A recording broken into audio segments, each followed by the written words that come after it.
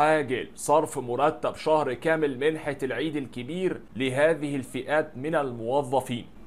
عارفين إيه اللي شاغل بالنا كل يومين؟ أكيد سعر الدولار. هو ده اللي بيلعب في أسعار كل حاجة تقريبا خصوصا الحاجات اللي بنستوردها من بره.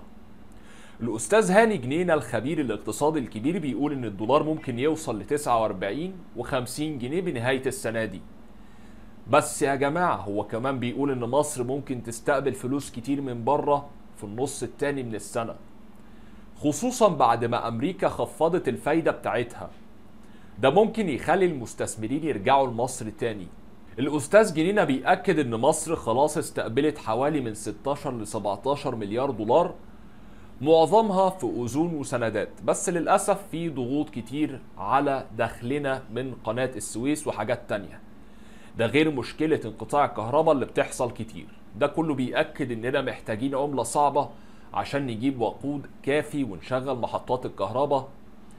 مش كل الخبراء الاقتصاديين بيقولوا نفس الكلام. في خبراء تانيين بيقولوا إن الدولار ممكن يوصل ل 55 جنيه بنهاية السنة دي. وده بسبب أزمة العملة اللي بتمر بيها مصر. يعني الموضوع لسه مش واضح قوي وممكن يكون في مفاجآت في الفترة الجاية.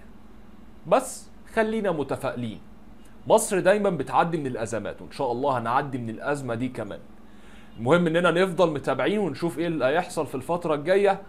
وحاجة أخيرة يا جماعة بلاش نصدق أي كلام بيتقال في الشارع عن الدولار. لازم ناخد معلوماتنا من مصادر موثوقة عشان ما نبقاش ضحية للشائعات. وإن شاء الله نعدي الفترة دي على خير بإذن الله.